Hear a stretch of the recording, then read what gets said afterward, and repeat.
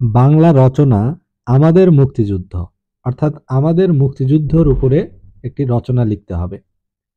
ভূমিকা, বাংলাদেশের ইতিহাসে মুক্তিযুদ্ধ এক অবিস্মরণীয় ও তাৎপর্যময় ঘটনা, তাৎপর্যপূর্ণ ঘটনা।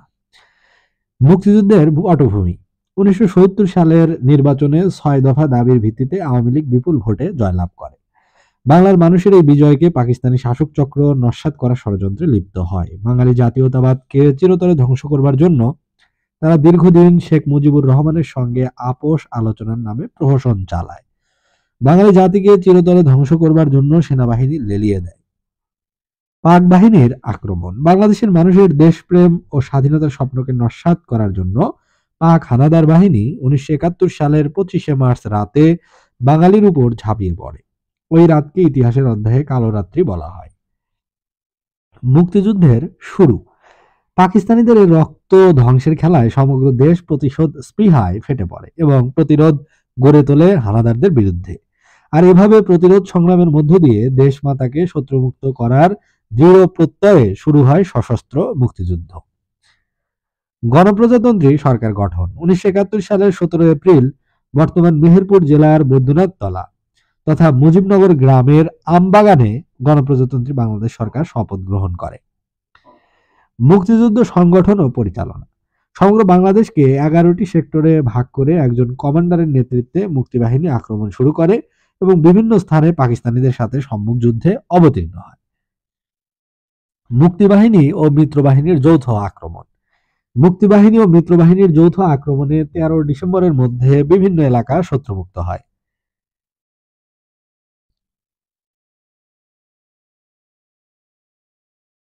পাক বাহিনীর আত্মসমর্পণ চূড়ান্ত বিজয়। ষোলোই ডিসেম্বর হানাদার বাহিনীর অধিনায়ক, লেফটেন্যান্ট জেনারেল নিয়াজি তার তিরানব্বই হাজার সৈন্য নিয়ে অস্ত্রশস্ত্র সহ সোহরাওয়ার্দী উদ্যানে যৌথ কমান্ডারের নিকট আত্মসমর্পণ করে। ফলে বাংলাদেশের চূড়ান্ত বিজয় সূচিত হয়। উপসংহার, এই মুক্তিযুদ্ধের মাধ্যমে জাতি স্বপ্ন দেখেছে একটি সুখী, সমৃদ্ধশালী বাংলাদেশ গড়ার। ফলশ্রুতিতে বিশ্বের মানচিত্রে সংযোজিত হয়েছে বাংলাদেশ নামের একটি নতুন ও স্বাধীন ভূখণ্ডের। অর্থাৎ এই যে আমাদের মুক্তিযুদ্ধ, এই বিষয়ে রচনা লিখতে গেলে আগে ভূমিকা বলতে হবে। ভূমিকা হচ্ছে যে বাংলাদেশের ইতিহাসে মুক্তিযুদ্ধ এক অবিস্মরণীয় ও তাৎপর্যপূর্ণ ঘটনা। এবার হলো মুক্তিযুদ্ধের পটভূমি মানে কেন মুক্তিযুদ্ধ হয়েছিল? সেখানে বলতে হবে যে উনিশশো সত্তর সালের নির্বাচনে ছয় দফা দাবির ভিত্তিতে আওয়ামী লীগ বিপুল ভোটে জয়লাভ করে। এবং বাঙালির এই জয়কে পাকিস্তানি শাসক চক্র ভেস্তে দিতে চেয়েছিল। তারা ষড়যন্ত্রে লিপ্ত হয় এবং বাংলাদেশের জাতীয়তাবাদকে চিরতরে ধ্বংস করার জন্য, অর্থাৎ বাঙালি জাতীয়তাবাদকে চিরতরে ধ্বংস করবার জন্য তারা দীর্ঘদিন শেখ মুজিবুর রহমানের সঙ্গে আপোষ আলোচনার নামে আসলে চালায় প্রহসন। বাঙালি জাতিকে চিরতরে ধ্বংস করবার জন্য সেনাবাহিনী লেলিয়ে দেয়। এসব কারণেই বাঙালিরা মুক্তিযুদ্ধ, মুক্তিযুদ্ধে ঝাঁপিয়ে পড়ে। অর্থাৎ মুক্তিযুদ্ধ ছিল একটি অনিবার্য ঘটনা। পাক বাহিনীর আক্রমণ, অর্থাৎ বাংলাদেশের মানুষের দেশপ্রেম ও স্বাধীনতার স্বপ্নকে নস্বাত করার জন্য পাক হানাদার বাহিনী উনিশশো একাত্তর সালের পঁচিশে মার্চ বাঙালির উপর ঝাঁপিয়ে পড়ে। ওই রাতকে ইতিহাসের অধ্যায়ে তাই কালো রাত বলে সম্বোধন করা হয়। এবার মুক্তিযুদ্ধের শুরু।